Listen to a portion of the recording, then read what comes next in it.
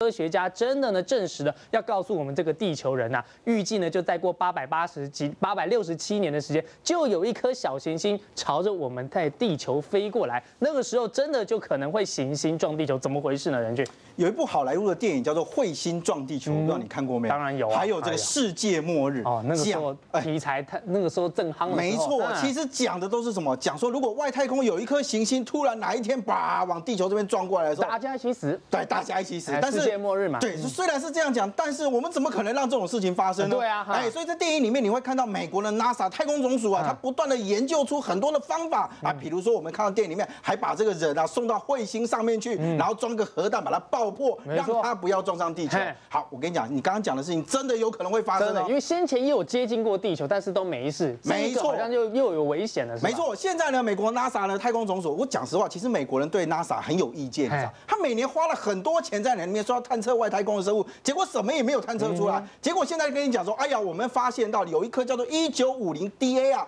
这个编号的这个小行星呢，它很有可能在两千八百八二八八零年的时候，三月十六号，连日期都有，嗯。嗯，连日期都有。哦，告诉你说它很有可能会撞上地球。啊，那是二十九世纪的事，哎，没错，二十一世纪，哎但是我们现在就已经发现到它了。好，我们先解释一下为什么叫一九五零 DA，因为这一颗小行星在一九五零年的时候啊，第一次就被人家发现已经有看到，已经有看到，但是后来它突然消失了半个世纪。哦，为什么呢？就不知道，哎就不知道，啊。然后一直到这个两千年的时候，它突然又被发现了、嗯。啊，又被发现的时候，哎，大家就观测它的时候，就发现它这一颗小这个小行星啊，哈，它的直径呢大概有一点零七公里左右，哎、其实还蛮蛮大的如果以这种行星来讲，蛮大的，而且它现在时速是每秒十五公里，嗯。一直朝着地球的这个方向前进。那科学家也去计算说，如果它的轨道没有变的话，事实上它很有可能从地球的旁边这样咻擦身而过，哦。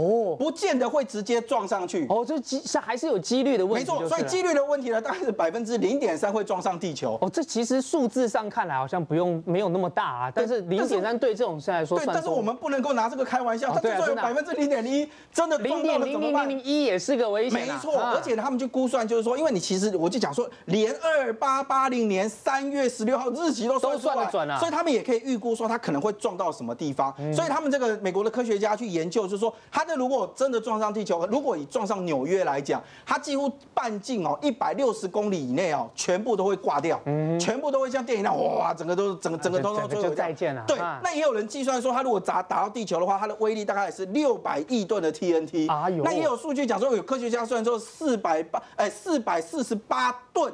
哦，亿吨的 TNT 黄色炸药这个这种数字就是天文数字，对没有办法去理解。我我一想到那四十八，我就吓到这死死吧。啊，真的啊，这么哎真的残忍啊撞！到的时候就真的很恐怖，你知道，哦而且还会如果打到海里面，还有可能会引发海啸。那就是末日啊，没错，那但是呢，科学家又讲说，既然我们观测得到，那也不要太担心啊，这样还不用担心啊。二十九世纪啊离现在还很远嘛，我们还有很多的方式可以去研究，怎么样让它不要撞上地球。嗯，这个呢是要靠人类的智慧来解决。但如果遇到这种事情，你看电影啊，都是美国人出面来帮大家拯救世界。但如果你看到现在的世界局势，我相信呢，接电话的不只是 NASA，中国大陆的航天局呢，可能也会接到不少求救的电话、哦。为什么呢？因为呢，刚好啊，今天呢，就是他们这个载人呢，载人上太空、飞上天的十周年的纪念日。其实法国的媒体就有报道，未来要称霸太空的霸主啊，中国是非常有机会取代美国的哦。所以搞不好二十九世纪那颗行星去炸掉的，不是布鲁斯威利这种美国人啊，是中国人，有可能吗？赖教授？杨利伟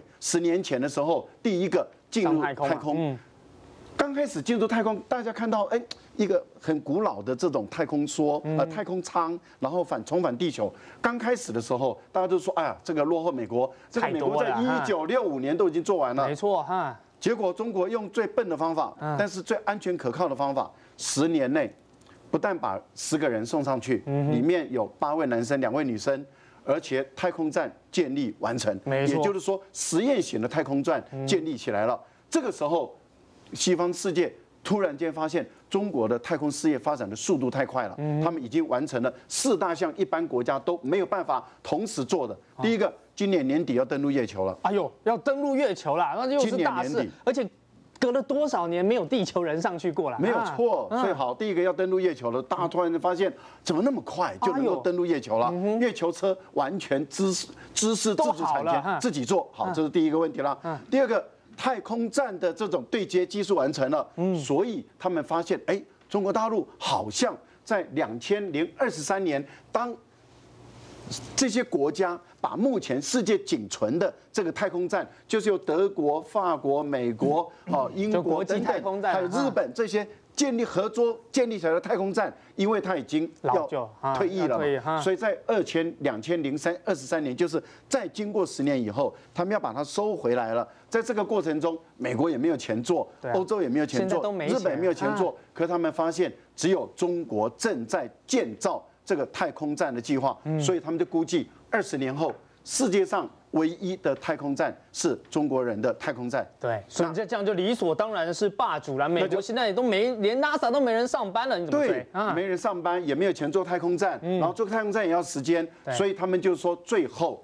未来也只能够想办法去请中国说，能不能让我进去你们的太空站里面哎帮个忙是不是帮个忙，让我能不能进去你的太空站里面去做一点实验？对好，我们看，然后北斗计划也完成了。这个时候，我们大家就注意到另外一个事情了。以前是中国派他的太空人到俄国去受训，现在是中国帮外国人来受训太空人，把他们送到太空去。对所以这样的一个事项，他们法国人就估计说，他在未来会成为太空霸主。嚯、所以这些事情都不是开玩笑，真的是风水轮流转的一个感觉啊！好看完了天上的太空船，回到地球找笨蛋有多笨呢？就